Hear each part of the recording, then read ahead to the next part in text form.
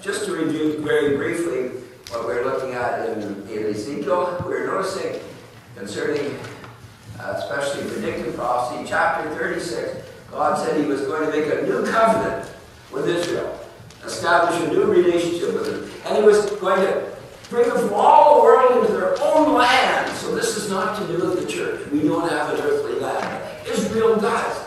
Promised to Abraham long ago. And he, he, was going to cleanse them from their sins. And he was going to put his spirit within them. And he was going to give them a new heart.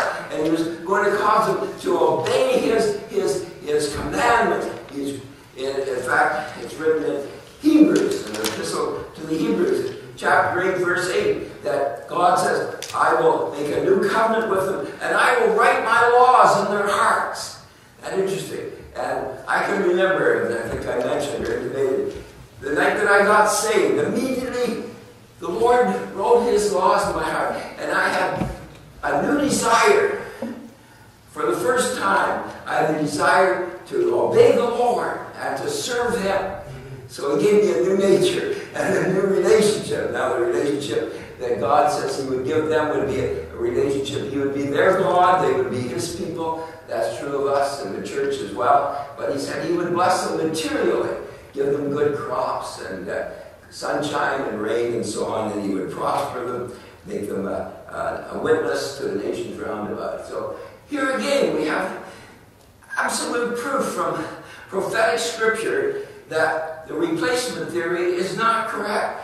The Reformed churches and the Lutheran Church, Catholic Church, Anglican Church, Presbyterian Church, United Church, and so on, all teach this that the church has replaced Israel and God isn't going to use Israel as a nation again. How can they read these scriptures? Look this. And notice too that, that the remnant of Israel, saved under the tribulation period, they will all be saved. So Paul says in Romans chapter 11, as we were noticing before, briefly, that, that, that a deliverer shall come out of Zion, and all Israel shall be saved. God is going to fulfill his purposes, the eternal purposes for the nation of Israel. Then we're noticing in chapter 37 that it mentions how this is going to come about. God is going to bring them from all nations. They'll come as a valley of dry bones. They're spiritually dead, largely in Israel today. Only a few Jews, although it's an increasing number, thank the Lord, uh, that recognize Jesus as their Messiah and have trusted in the Lord Jesus. But they will return to the land, he says, and there will be a revival. God will breathe life into those uh, lifeless bodies when he puts sinews and so on in the dry bones. So they're coming from all over the world, and that's happening today. Uh, chapter 38 and 39, we're looking briefly at the Gog Magog War, how Russia and Persia, Gog is Russia, and uh, uh, Persia is Iran, and Libya and Ethiopia, and Togarmah, the, I believe the uh, Arabic republics, uh, south and east of Israel, and Gomer, I think uh, Turkey, in that region. They will all join together and attack Israel, and God will wipe them out. And I believe personally that if you read Ezekiel 38 and 39, then it makes a nuclear war will be involved, uh, as well as uh, uh, um, natural disasters. God will rain fire, and hail, and earthquake upon thee, and five, six of them will be wiped out. I think this is the sixth trumpet judgment, where 200 million horsemen come against Israel. I don't think it's uh, the same as Armageddon three years or so later when the, the kings of the east and uh, all the nations of the world come against Israel. This is a, a localized thing. Uh, the sixth trumpet judgment says that the angels are going to be released out of the Euphrates River, not out of the, far east and China and India and the Indus and all that. So that's going to happen, and God is going to wipe out five, six of them. And I was suggesting to you that that means the Islamic powers, as a world power, will be, be disabled he says he will rain fire on Gog, so Russia as a world power will be disabled. He says also in chapter 39 that he will bring fire upon the isles of the sea or the coast of the sea. And I believe that refers to the, to the United States and to the uh, far off uh, countries. So that would only be one world power as we have it in the uh, tribulation and great tribulation period, that will leave room for the United States of Europe. The United uh, States of Europe, I believe, is really the, the revived Roman Empire, the, the uh, fourth uh, world power mentioned in Daniel and again in Revelation. And uh, it will be the, the dominant power on earth, and the Antichrist will rule the whole world. So uh, the vacuum will be left there when Russia and the Islamic powers are wiped out because Gog, Magog, and, and Iran and Ethiopia, Libya, Togar, and Gomer are basically Islamic. Five, six of their army wiped out. They're disabled. And the United States wiped out. Then there's only one world power left, the United States of Europe, the revived Roman Empire. Uh, the nation that was and is not and shall be, as it is in Revelation 17. And then we're noticing from chapters 40 to 48, the end of Ezekiel, we have the millennial temple described, and not only that wonderful millennial temple where uh, the Lord Jesus will reign, but also the whole topography of Israel will be changed. And we're noticing the last sentence, it, it will be known as the land where the Lord is, Yahweh Shammah uh, Jehovah Shammah, the Lord is present. Now, tonight, I'd like to go on uh, to look at Daniel, and of course, key passages in Daniel. Daniel is the key to understanding uh, biblical prophecy. Uh, if you want probably one of the best books you can get today, it's probably about close to 20 years old, but it's pretty up to date. Uh, I would suggest to you that you get the book Daniel, the Key to the Prophetic Scriptures by John Walvoord. John Walvoord was the president for many years of the Dallas Theological Seminary in Dallas, Texas. And of course, uh, out of that seminary came a tremendous number of tremendous prophetic scholars. The world is uh, particularly made aware of uh, Dallas, I think, by Hal Lindsey's first book, uh, a number of books, probably one of the most published authors today. Uh, remember his book called The Late Great Planet Earth. The Late Great Planet Earth. Now, don't get caught up in the controversy uh, that many claim that he said would be 40 years for the establishment of Israel, the rapture would take place. So it would have had to take place in 1988. Many got onto that subject and thought that, that 88 reasons for the Lord's coming in 88 and all that sort of thing.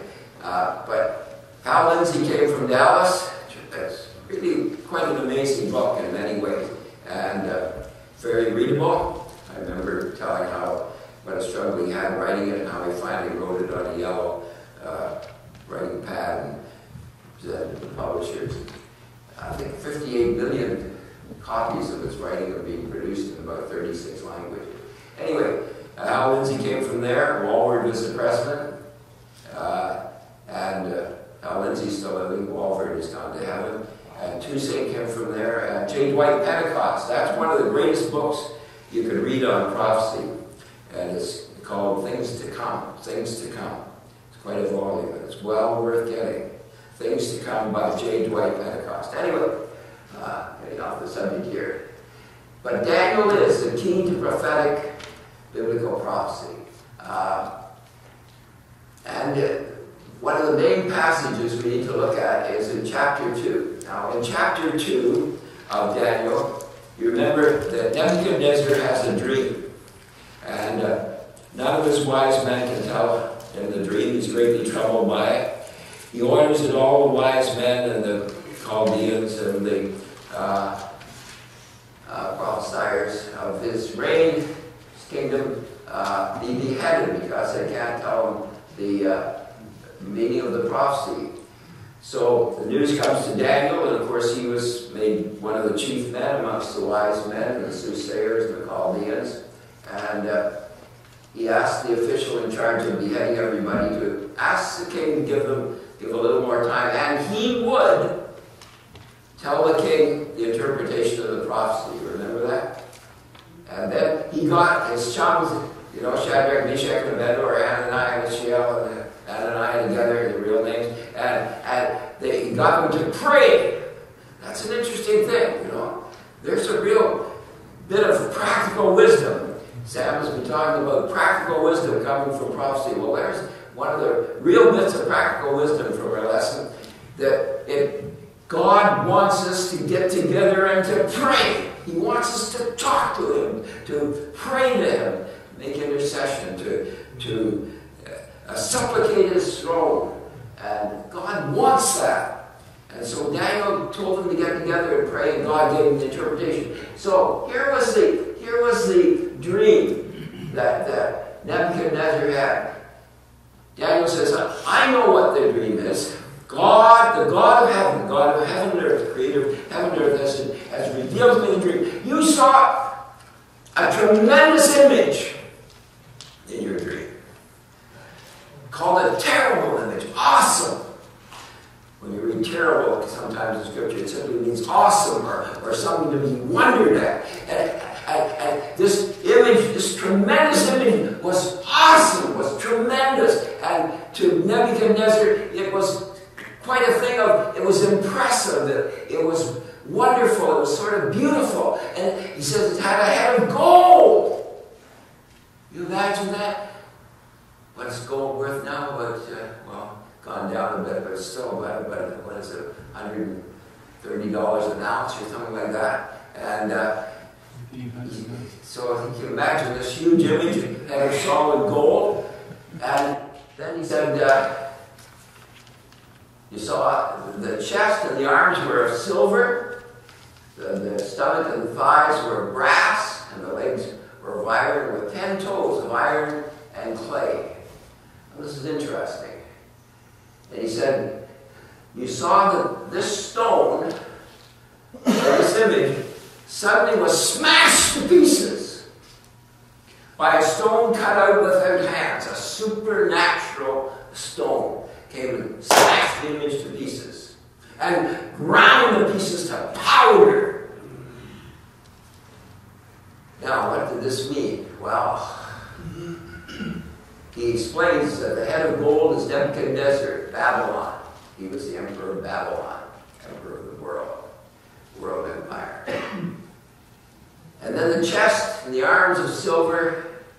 This is, this is explained when we come to chapter 7, where we have the, the four beasts corresponding to the four parts of the image. The, this, the chest and arms of silver were representative of Medo-Persia. And you remember that Medo-Persia took over from Babylon as the world power that night when Belshazzar had that feast. And uh, the uh, uh, Darius captured Babylon. Remember, he uh, got his soldiers to dig around to, to uh, put the, the uh, Euphrates River to one side to a channel and to, to make a channel underneath the walls. And Belshazzar thought he was secure behind those walls, but, but they got in the city and took over the city almost without a fight. So uh, Belshazzar who was the, I take it, the appointed ruler of Babylonia under Cyrus, uh, he took over that area and the uh, kingdom became kingdom of Medo-Persia. Then we have the thighs of brass, and that represents Greece according to chapter 7. And then we have a fourth empire, just uh, described here in the image vision as having being the legs made of iron with ten toes of iron and clay. Rather interesting. There's been much debate about what the significance is of the clay. And I remember when I was studying Hebrew at Toronto Baptist Seminary years ago that uh, Peter Gentry took me on a little quest to the library and we looked up uh, this word for clay. It's used twice. And, and the first part is translated in the King James as miry clay, you know, really sticky, ooey gooey stuff. And uh, that doesn't hold together very well with, with iron, with the iron of the toes. But the second time it's used, it's ceramic clay, baked clay. I there's a significance there. I better not go into that. But anyway, uh, rather interesting. Now, I'd just like to make one comment on this matter of um, Cyrus uh, taking over from, from Belshazzar and establishing the Medo-Persian Empire as the world power at that time. If you look in your Bible, we were, Sam was mentioning tonight, one of the uh, apologetic strengths of Scripture is that uh, one of the evidences for its truth and its supernatural origin is that it predicts things exactly long before they happen. If you turn to Isaiah chapter 44 for just a moment, I was struck with this beginning today and doing a little preparation for tonight. Uh,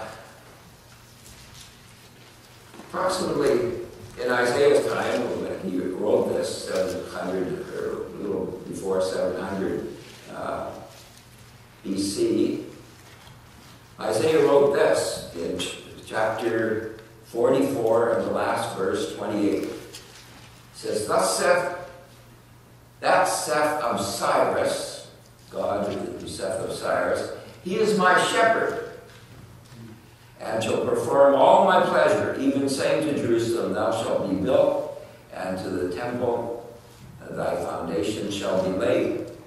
Look at verse, chapter uh, 45, verse 1. Thus said the Lord to his anointed, to Cyrus, whose right hand I have folded to subdue nations before him, and I will loose the loins of kings, and make them tremble, uh, to open before him the two-leaved gates, the gates of defense to the city, and the gate shall not be shut. I will be, go before thee and make the crooked places straight. I will break in pieces the gates of brass and cut in sunder the bars of iron. And I will give to thee the treasures of darkness and hidden riches of secret places, that thou mayest know that I am the Lord. Notice Lord, capital capital O, capital O, capital R, capital D, that's Jehovah, which call thee by thy name, and the God, the Elohim of Israel. So, notice the next verse, is interesting too. For Jacob my servant's sake, in Israel mine elect, I have even called thee by thy name. I have, I have surnamed thee, though thou hast not known me. Isn't that interesting? Cyrus didn't know, didn't know Jehovah. He didn't know Elohim, the majestic one. Uh, but, you know, God knew him. And here, about a hundred probably close to 200 years uh, before he captured, or his, his agent, Dr. Darius, captured uh, Babylon from Belshazzar, God had appointed that he, Cyrus, would be the one who would deliver Israel. Quite amazing. And uh, actually, uh, approximately 20 years after uh, he captured, or his appointee Darius captured Israel and became his lieutenant king over Jerusalem, over Babylon. Uh, the it's interesting that that God caused him to do what Isaiah says here to to uh, restore Israelites to their land.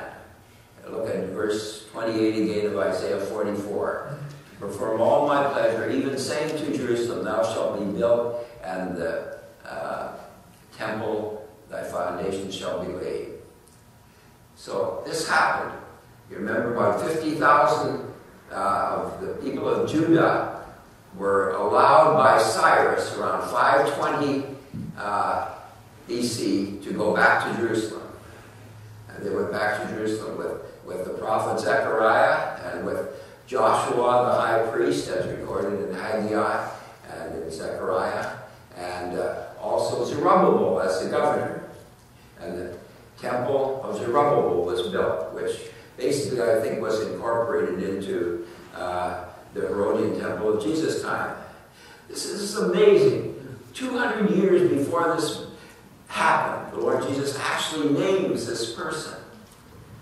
Rather interesting here. When we get further into Daniel, uh, I want you to notice that I believe that the 70 years that Daniel was reading about that were almost accomplished were not the, the 70 years of captivity, which started about 590 BC and continued to this time when, in 520, when Cyrus allowed the 50,000 Judeans to go back to Judea with Zechariah and Haggai and Zerubbabel and Joshua. And this was nearly a hundred years before Ezra and Nehemiah, Ezra and Nehemiah went back and uh, the walls were built. This was a building of the temple at first. Uh, the, but the, the amazing thing about this is that, that here we have the, the Daniel realizing that as he read the prophecy of Jeremiah, now how did the prophecy of Jeremiah get to Babylon? It just being written. So here's another practical thing. If we want to know the Lord's will, we have to be reading the scriptures. So here's Daniel, and he is reading, he recognized that this writing that had just been written by Jeremiah, maybe not more than 20 or, or 40 years before this, maybe even less than that, uh, that they were saying, look, the, the seven years of desolations are about to end. And we read about the seven years of desolations and we read about the seven years of captivity. Say, oh, well, it's all the same. Uh-huh, I don't think so. And it has to do with the Cyrus fall that was named a couple hundred years before it happened. Probably 150 odd years before he was even born. And God names him Cyrus and says, You will be my shepherd for my people, and you will help them.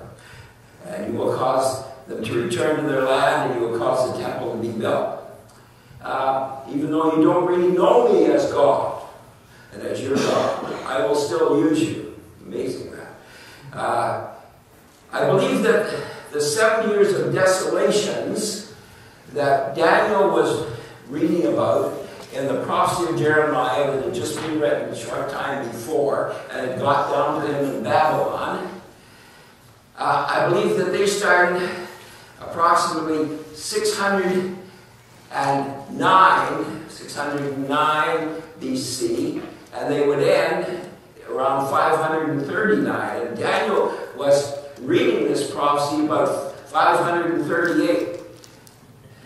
This was probably the very year that Belshazzar lost the kingdom to Darius, who was the underlord, I believe, of Darius, or of uh, Cyrus.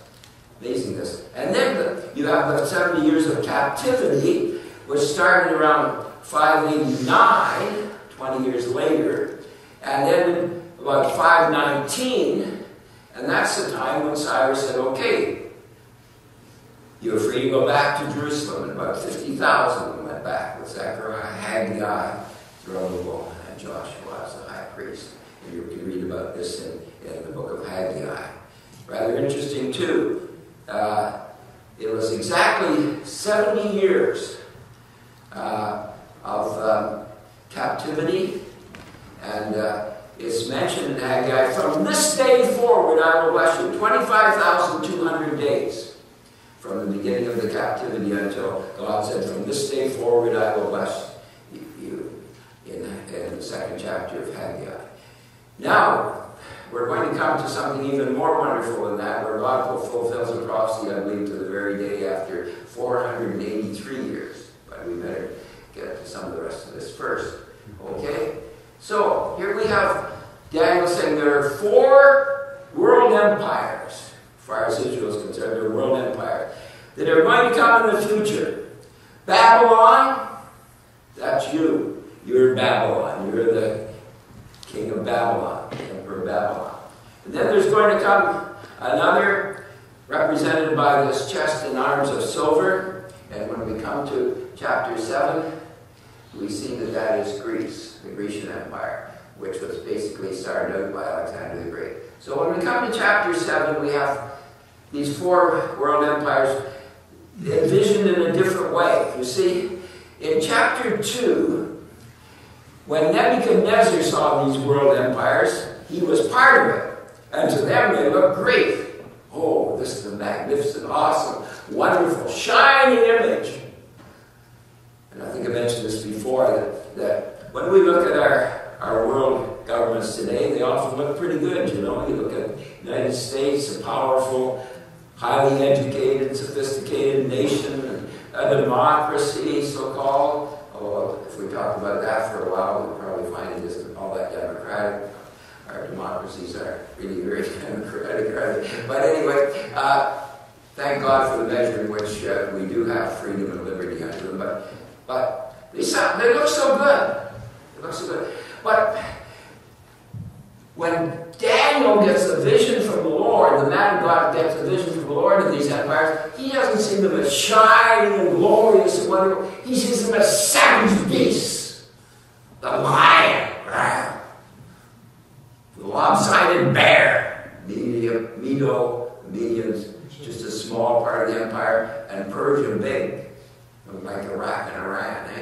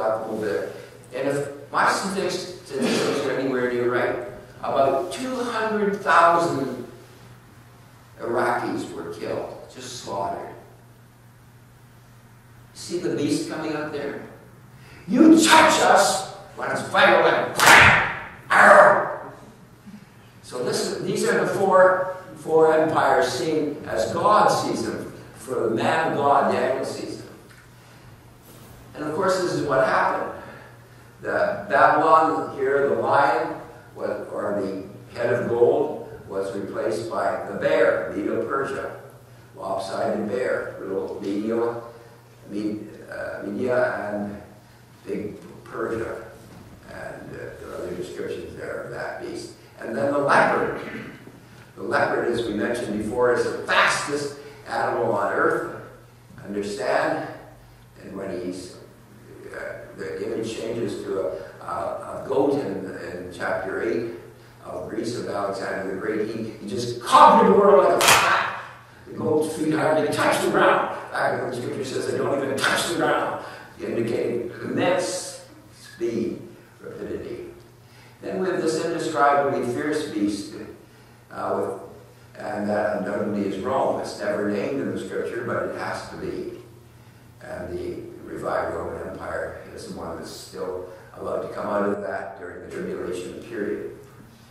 Uh, a couple of points I want to make here. Just kind of faded my mind for a moment.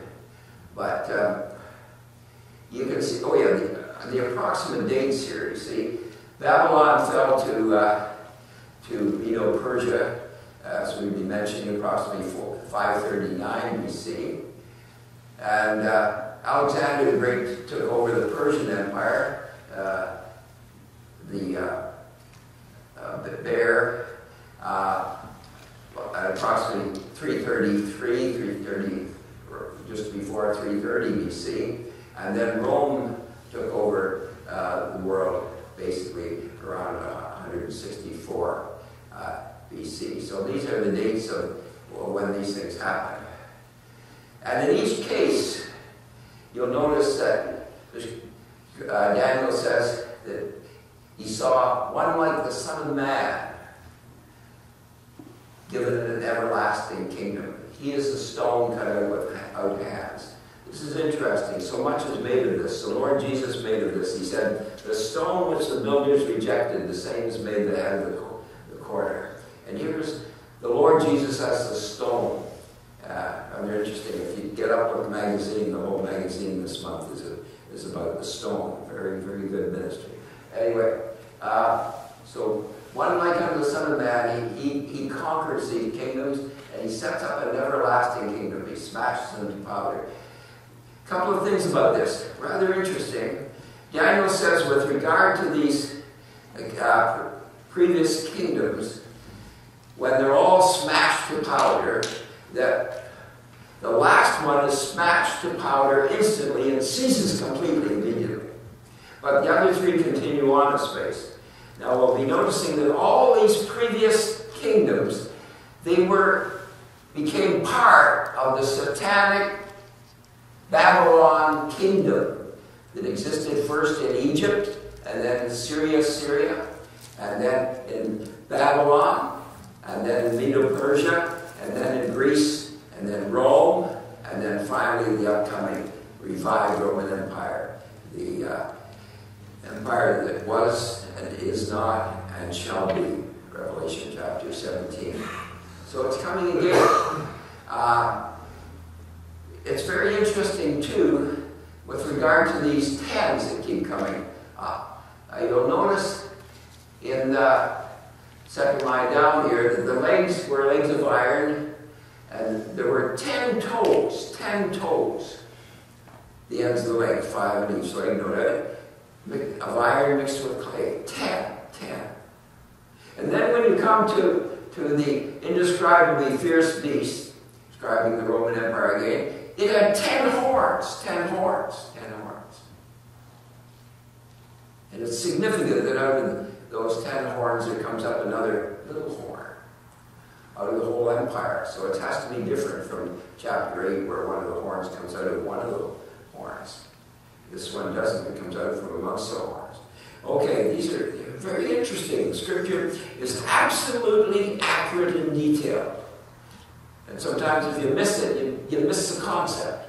But if you just notice that one little point, ah, you know, it changes everything. Anyway, what I really want to get at tonight is the 70 weeks. The 70 weeks of Daniel. You've heard of the 70 weeks of Daniel, the 70 weeks of, 70th week of Daniel, and the 69 weeks of Daniel. Let's take a look at that for a minute because here is probably the greatest key of all to uh, understanding God's uh, prophetic plan. In Daniel chapter 9, we read about this. Daniel chapter 9. And let's look at a few things here again. Uh, you remember that um, Daniel has been praying in Daniel chapter 9 as he realizes the 70 weeks of uh, desolations is just about to end. I believe it was, it had maybe only a year, less than a year to go. I think this happened in 538 that he got this vision of the 70 weeks. And he realized that the 70 weeks were almost up.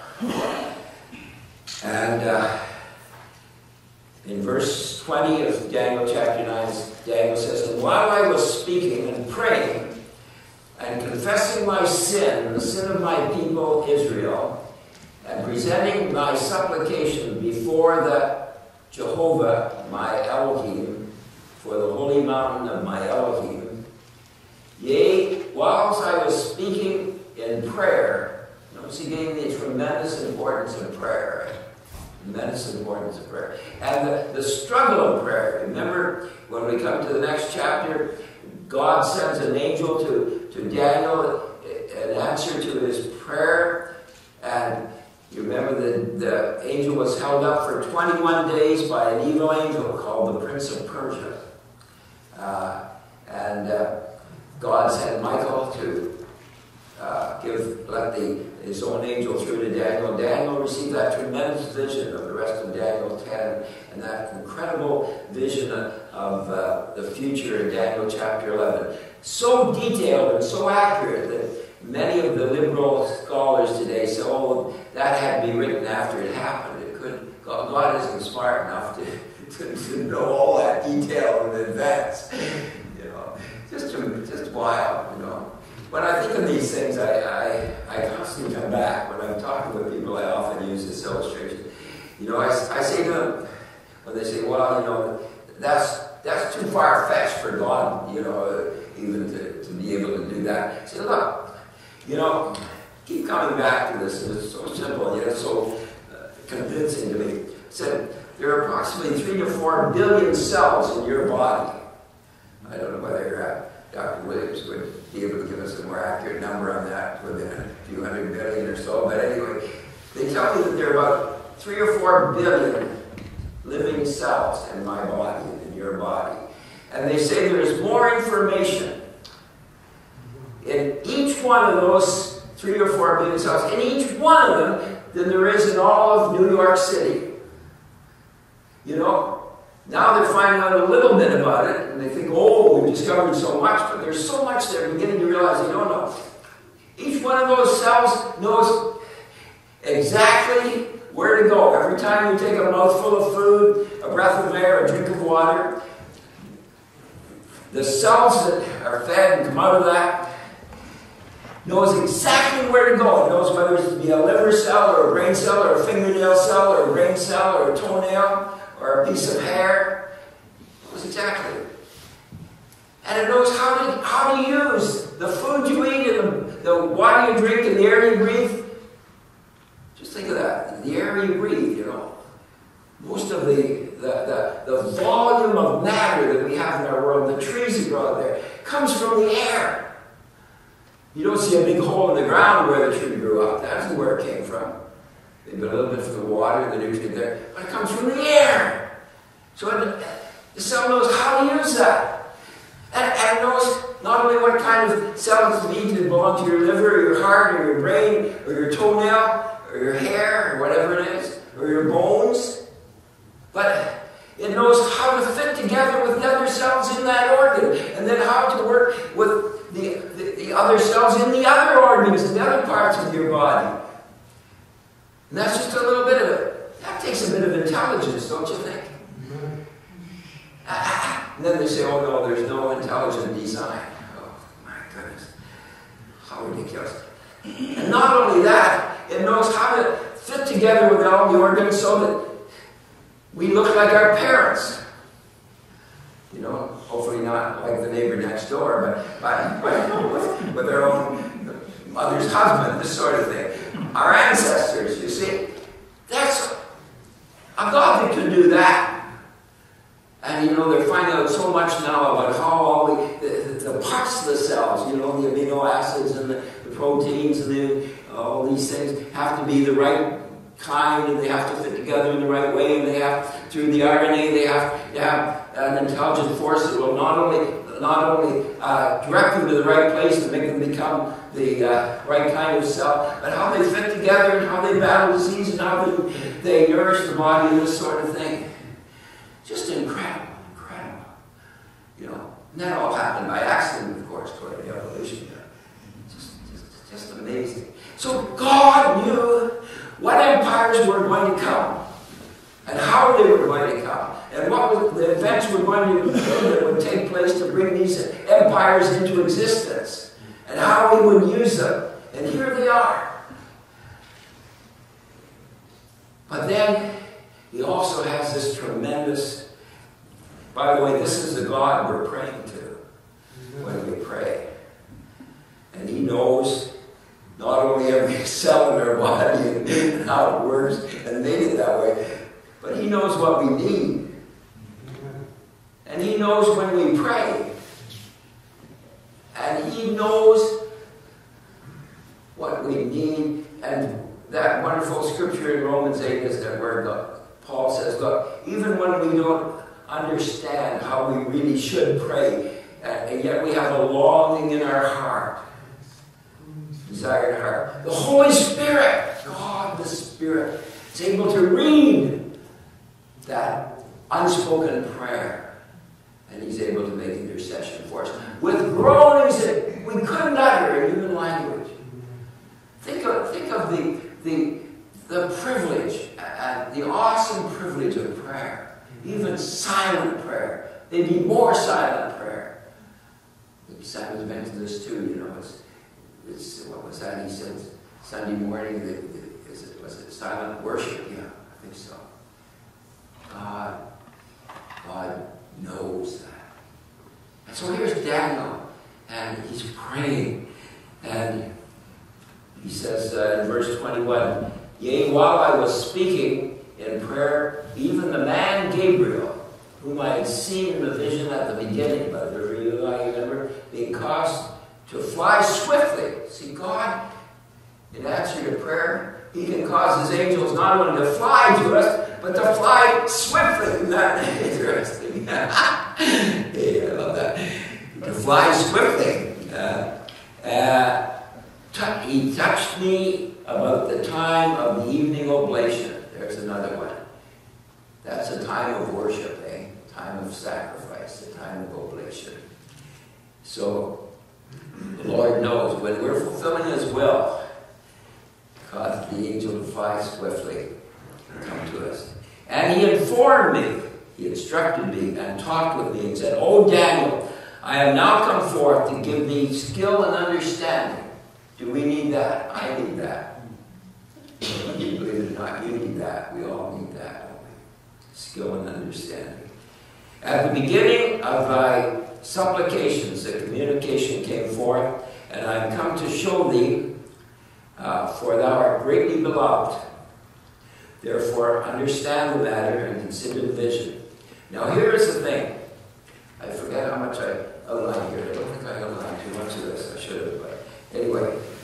70 weeks, 70 heptads Greek, 70 Sabbaths in, in uh, uh, Hebrew, Shabbat. Uh, 70 weeks, 77s literally, are determined upon thy people. And you know, especially liberal uh, commentators of the Bible said, oh, well, you can't tell whether the weeks are weeks of years or not. But the scripture tells us in other places about this. How long did, did Jacob work for his, the first wife that he got?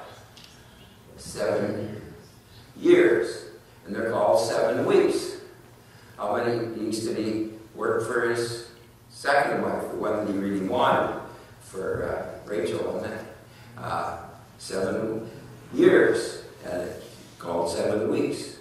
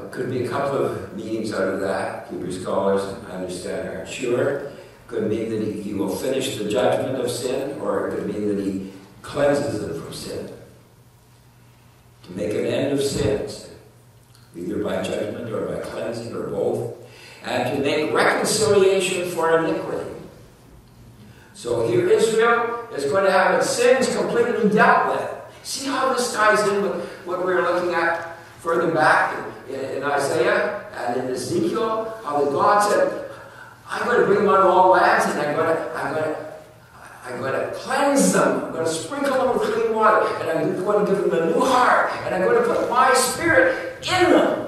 And they'll know me as their God. I'll be their God. And they'll be my people. See, this is obviously the same thing.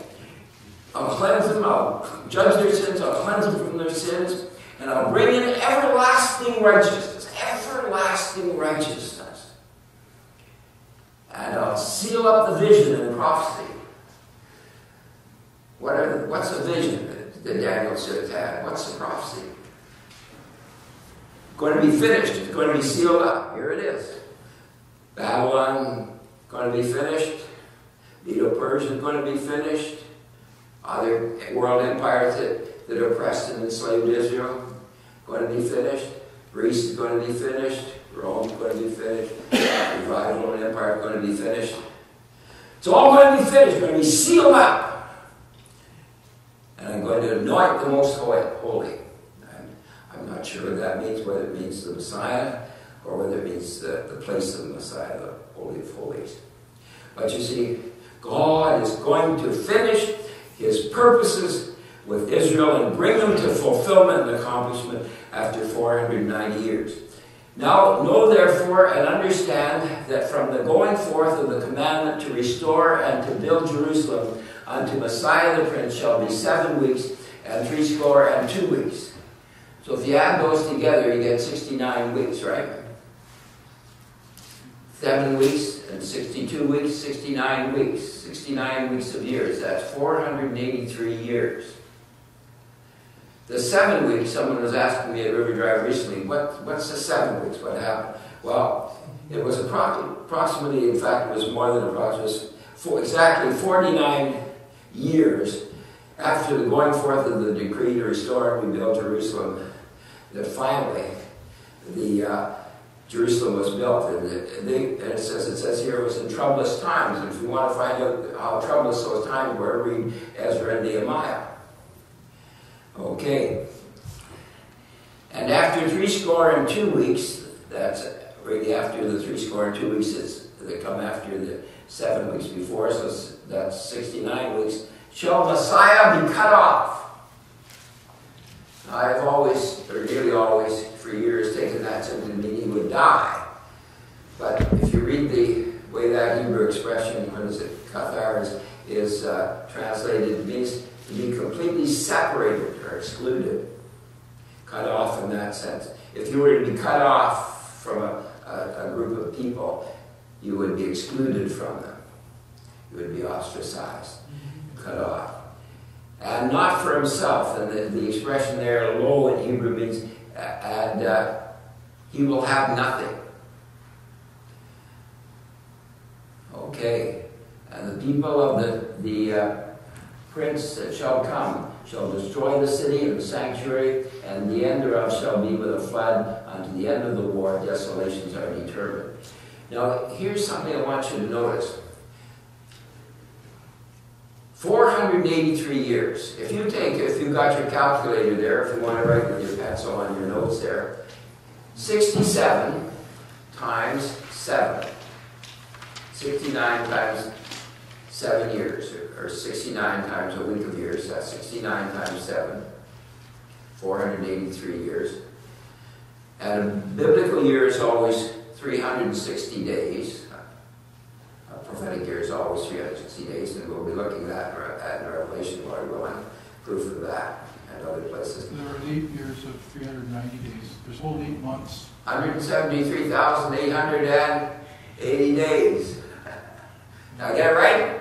I'm just saying they also have the months that are 390 days. Yeah, they do. Yeah. So yeah. they come out almost the same as their 365 day year. But that's outside. Yeah, this because this is these are and. Uh, fabulous. And, and so we have 173,880 days.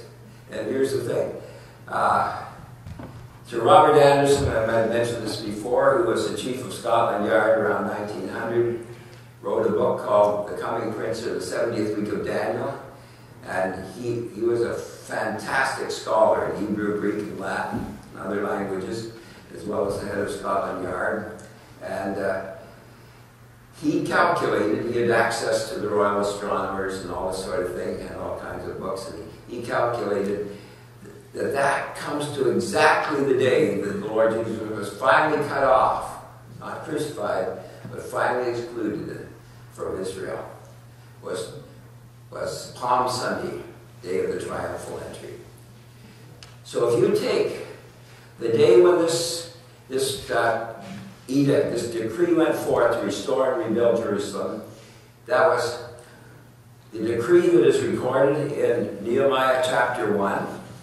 It was, if you want to look at it for just a second, I know the time's gone, but if you look at Nehemiah chapter 1, you'll see that, that Nehemiah was given a decree by Artaxerxes to restore and rebuild Jerusalem. Uh, in chapter 2, yeah. And uh, so that decree was given in 445 BC. It was the first of Nisan in the Jewish calendar, which would be the, the uh, 10th of April in our calendar. And the Palm Sunday, or the day when Jesus was finally excluded from Israel by the high priest, the chief priests, and the scribes and Pharisees. Remember, after he cleansed the temple, they rejected him, and they plotted to crucify him and to also kill Lazarus and be raised from the dead. Uh, it was too powerful a witness to have hanging around. They were afraid the Roman Empire would take their power from them. From that, from the first of Nisan or the 10th of April, 445 BC, when Ahasuerus, or when Artaxerxes gave the decree to restore and rebuild Jerusalem. It was, you see, it was about nearly a 100 years before that, that that Cyrus gave the command to allow the Judeans to go back to Judah. About 50,000 of them went back with Zechariah and Haggai and Zerubbabel Joshua as the high priest. But now, nearly 100 years later, 445 BC, this command is given not to rebuild the temple, but to rebuild and restore Jerusalem. And that, that was that triumphal entry day, according to uh, Robert Anderson, if he's right. He probably is. In fact, I was noticing in some books written fairly recently, they disagree with some of his dates uh, in light of recent archaeology. But with regard to this, it seems to be pretty fairly solid that that would be the, the 6th of Nisan, the Jewish calendar, and the 14th of April in our calendar. Jesus was cut off and he had nothing. So, the, the 69 weeks undoubtedly were fulfilled when Jesus was cut off, when he was rejected by Israel. Amazing, wasn't it? The crowds that gathered and they said, Hosanna to the Son of David. And the rulers of the nation, after he cleansed the temple, they decided to get rid of him completely. He was cut off. And he had nothing as far as Israel was concerned. Now, the point that you need to notice, though, that I need to notice, that we all need to notice is, where is the 70th week? Because the Bible makes it absolutely clear there here that at the end of the 70th week, that God would cleanse Israel from all unrighteousness. He would set up and set up everlasting righteousness. That hasn't happened yet, hasn't it? Israel's still in a terrible state. They haven't got everlasting righteousness and everlasting peace yet. So, the 69th week has been fulfilled at the rejection of the Lord Jesus, but the 70th week is about to begin. And, at the end of that 70th week, Israel will be restored and be cleansed, and everlasting righteousness will come in. Amazing. Eh? And as we were noticing, I believe in the uh, Gog Magog war, that war, I think, is just about to begin. And at the end of that war, Jesus is going to return. That will be the end of the 70th week. Seven years, seven years of tribulation, seven years of Jacob's trouble, as Jeremiah calls it. The 70th week of Daniel. And so we hope to have a little look at the, the 70th week of Daniel when we come to Revelation and what happens in that time. And how at the end of it, the remnant of Israel will be saved. All Israel will be saved. And God will accomplish his eternal purpose, his purposes with Israel. I shouldn't say eternal purpose so much as from the foundation of the world, the kingdom prepared from the foundation of the world. This is called in Matthew 25. And all Israel shall be saved. In the meantime, Paul says, we Gentiles have benefited from their being put aside for a period of time. The church is being built, and it's completed. God will deal with Israel again. Very clear, very simple, I think, in many ways. Okay, so let's, I better stop. So let's pray. Father, we just come to thee with thanksgiving that uh, you have shown so clearly in your revealed word, in your inspired word, word that, that uh, your purposes always come to pass, that they may seem difficult for us to understand your ways of doing this. As the hymn writer said, God works in a mysterious ways, wonders to fulfill. He rides upon the storm and he does his sovereign will. But Lord, we know that what you have said will come to pass, will come to pass. So Lord, we put our trust in thee. We thank thee for the time when each one of us can look back to when we trusted in thy word and we received eternal life through the incorruptible seed of the word of God that lives and abides forever. Lord, thank thee for the joy the certainty that we have not only in this life, but the future that we have with thee, with thy Son, Lord, with thy people, with thy Spirit, in that wonderful kingdom of God. Lord, we just praise you for this. Lord, we just ask that you would help us to understand that the time is short to serve thee, Lord, that we might serve thee diligently until Jesus comes, that you would use us, Lord, in our lives, in our words, in all that we do, in the way we think, Lord, to glorify you. Lord, bless your assembly here, Lord. Wherever your people meet, we ask thy blessing. And we ask for your blessing on those that are ill. I thank thee for seeing Mary here tonight, feeling better. We ask you, Lord, to bless her and her son Dan, Lord, and we pray for each one in this assembly in need of your special help and healing. And Lord, we do ask thee to remember too the uh, upcoming meetings here, Lord, that you would bless them, bless the youth activity, Lord. We thank thee for hearing that they absorbed uh, some valuable teaching on uh, Saturday from Brother Gary McBride. And Lord, we ask thee to richly bless the young people in the Sunday school and all of our families, oh God, that you would come in and blessing, Lord, and just help us. And Lord, help us in, to be a praising, joyful people. The joy of the Lord, we read, is our strength. And so, Lord, we just ask you to help us to continually praise you, to be a thankful, appreciative people for all you've done. We give thee our thanks and praise now and ask your blessing and pardon in Jesus' name.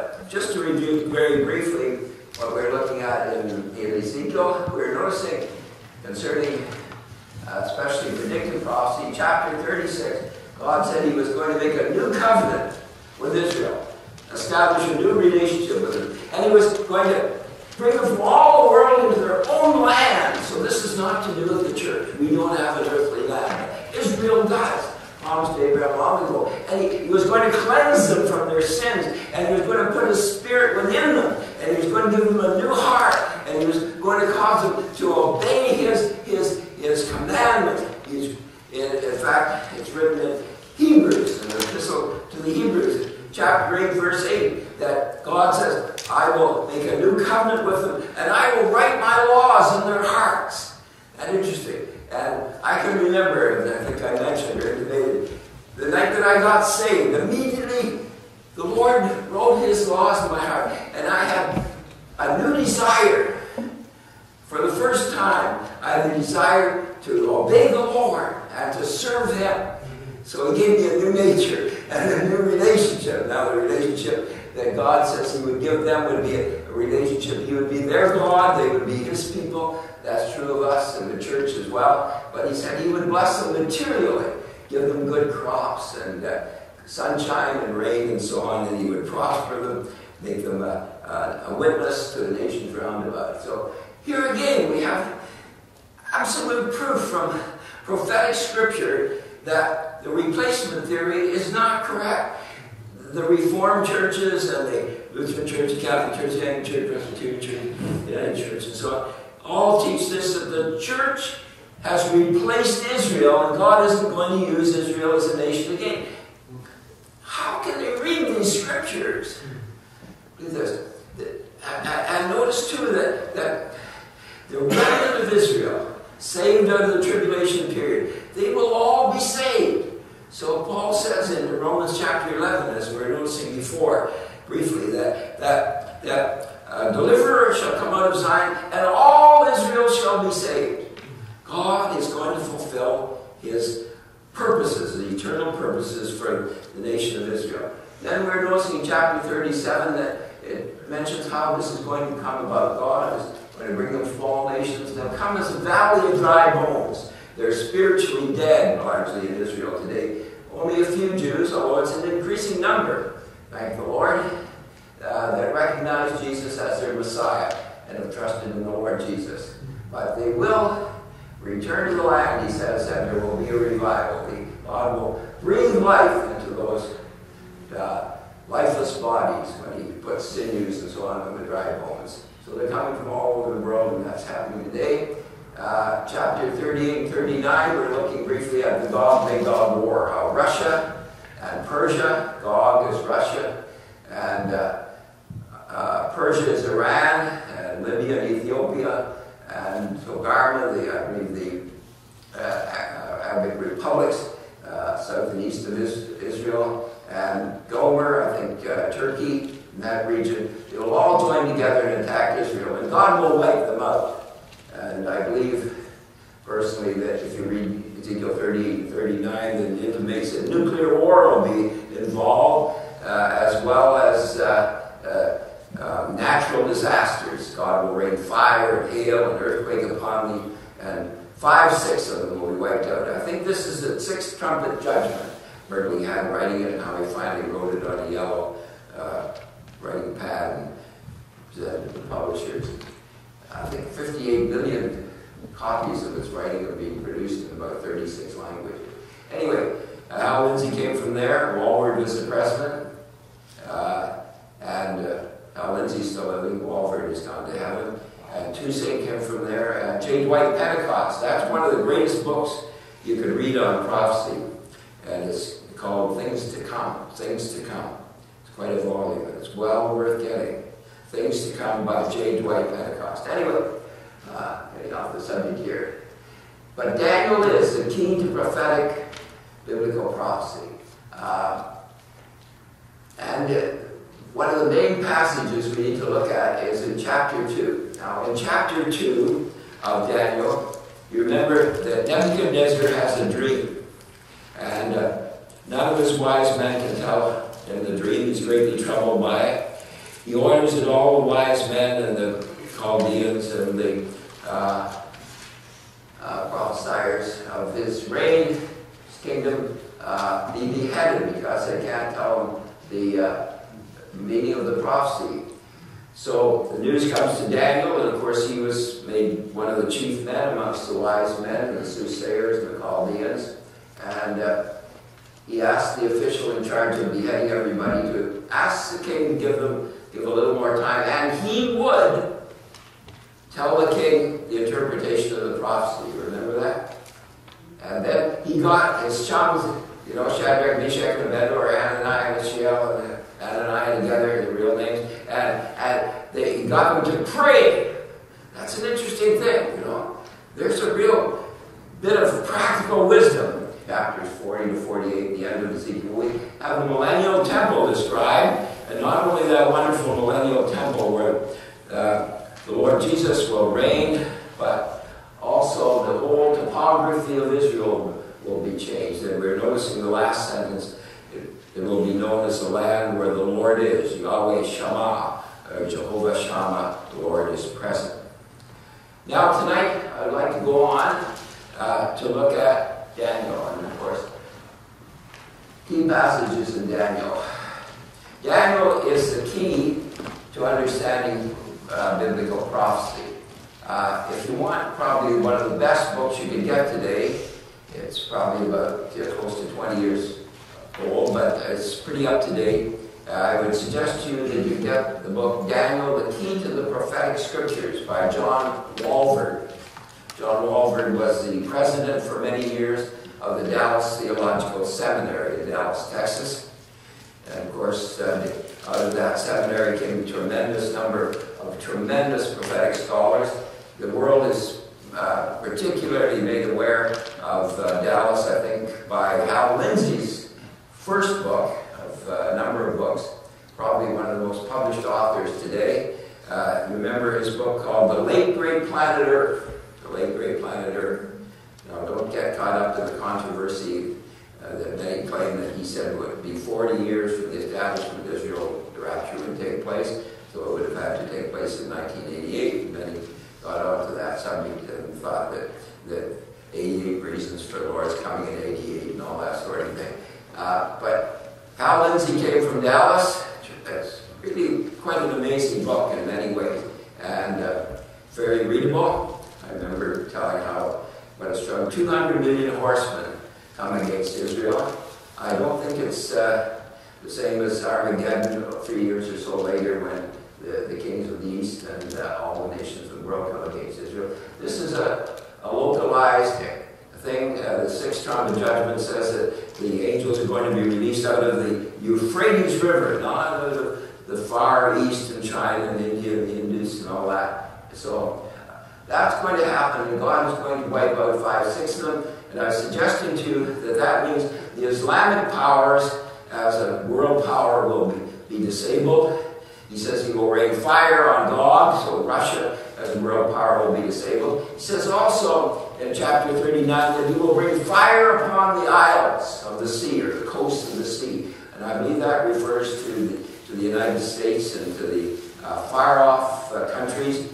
So that would only leave one world power as we have it in the uh, tribulation and great tribulation period. That will leave room for the United States of Europe. The United uh, States of Europe, I believe, is really the, the revived Roman Empire, the, the uh, fourth uh, world power mentioned in Daniel and gained in Revelation.